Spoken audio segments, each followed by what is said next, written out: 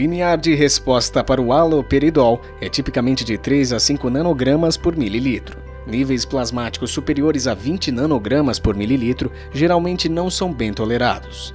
A dose de carga, o decanoato de haloperidol, é 10 vezes a dose diária oral administrada semanalmente durante as primeiras três semanas.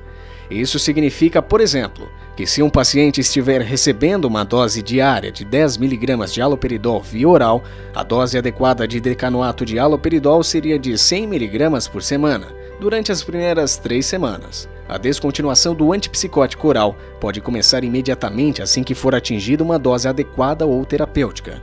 No entanto, o tempo até a concentração máxima varia de 3 a 9 dias e a cobertura oral ainda pode ser necessária durante a primeira semana para alguns pacientes. O estado estável é atingido após 4 semanas com a administração de uma dose adequada.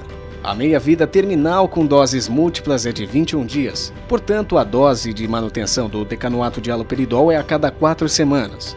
A dose de manutenção é 20 vezes a dose diária oral. Assim, para um paciente em transição de 10 mg por dia de haloperidol, a dose de manutenção é de 200 mg a cada 4 semanas. A dose de manutenção deve começar duas semanas após a última injeção. Dependendo da dose de manutenção apropriada, alguns pacientes podem exigir um esquema posológico diferente.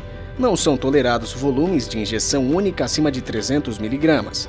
Portanto, os pacientes que necessitam de doses mais altas geralmente recebem as doses mensais divididas em injeções a cada duas semanas.